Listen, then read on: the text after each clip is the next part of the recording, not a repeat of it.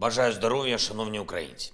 Говорив сьогодні з новим президентом Чехії Павлом. Хороша розмова, партнерська про оборону від держави-терориста, про наш спільний захист Європи.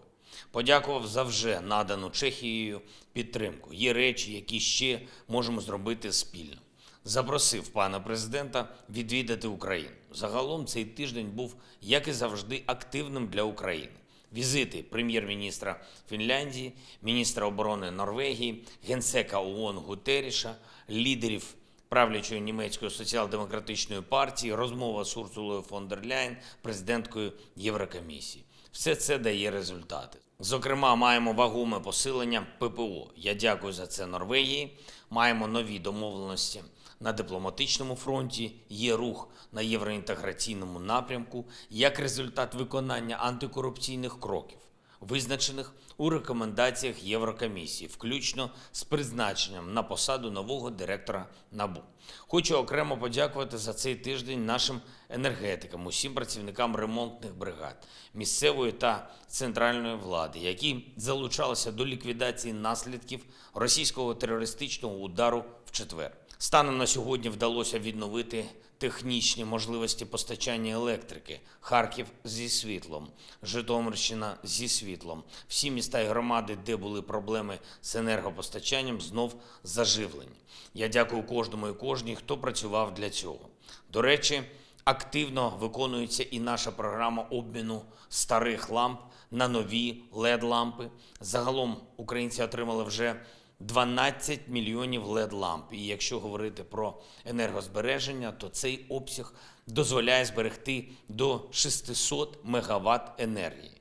Орієнтовно це як, приміром, більше половини генерації найпотужнішого блоку АЕС. Будь ласка, користуйтеся цією програмою обміну ламп.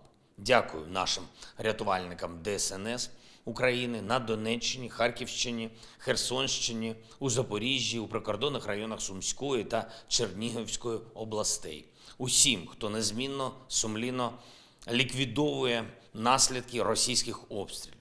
Сьогодні хочу особливо відзначити 41-шу державну пожежно-рятувальну частину міста Костянтинівка Донецької області. Майор Герман Старчеус, капітан Сергій Кулінченко, молодші сержанти Роман Дичко та Кирило Саєнко. Я дякую вам, хлопці, за відмінну роботу і сміливість. Звичайно, дякую всім нашим воїнам Хортиці і Таврії, які б'ються на найгарячіших напрямках в максимально жорстких умовах.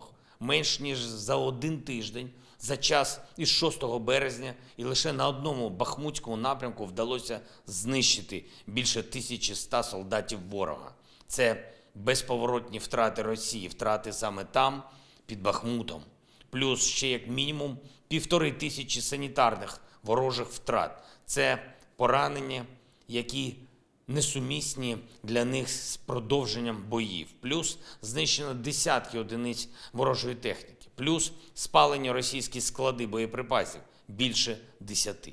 Дякую кожному воїну Збройних сил України, нашої розвідки, бійцям шаману, нацгвардійцям, нашим прикордонникам, усім, хто дійсно б'ється за українську землю, за Бахмут. Дякую бійцям Таврії, які результативно воюють в районах Авдіївки і Мар'їнки, артилеристам 55-ї окремої бригади Запорізька Січ, воїнам 35-ї окремої бригади морської піхоти, 74-го окремого розвідбату, нашій 79-ці десантникам і Запорізький напрямок Таврії, 128 окрема гірська штурмова бригада. Дякую всім вам, хлопці. Дякую кожному і кожній, хто і цього тижня знов допомагав нашим воїнам, лікував після поранень, шукав те, чим можна підтримати, організовував волонтерські збори, відправляв на фронт те, про що звідти просили. Разом у єдності ми прийдемо до перемоги. Є цього тижня рух і на зміцнення нашої духовної незалежності. Суспільство це бачить. Я бачу схвалення українцями цих наших кроків, цілком законних. І ми продовжимо цей наш рух. Ми не допустимо, щоб у держави терориста залишилась хоч б якась можливість маніпулювати духовністю нашого народу, руйнувати українські святині, наші лаври або красти з них будь-які цінності. І ще одне сьогодні 160 років з дня народження видатного українського вченого Володимира Вернацького, людини, який довелось жити у дуже складний час, але яка, попри все, вірила в Україну, обирала Україну і допомагала Україні. Ми зараз живемо у той час, коли всі історичні складнощі для України можемо перемогти. Можемо, якщо будемо берегти нашу єдність одне одного і нашу державу. Я дякую всім, хто дбає про Україну і українців. Я дякую всім, хто дбає про нашу єдність і про єдність світу заради України. Дякую кожному і кожній, хто зараз в бою за незалежність нашої держави. Світла пам'ять і усім, хто віддав своє життя за Україну, усім, кого ми згадуємо, коли говоримо Слава Україні! Сьогодні я присвоїв звання Герой України Олександру Мацієвському, солдату, людині, яку знатимуть всі українці, людині, яку пам'ятатимуть вічно за його хоробрість, за його впевненість в Україні і за його слава Україні. Герою слава, героям слава, Україні слава!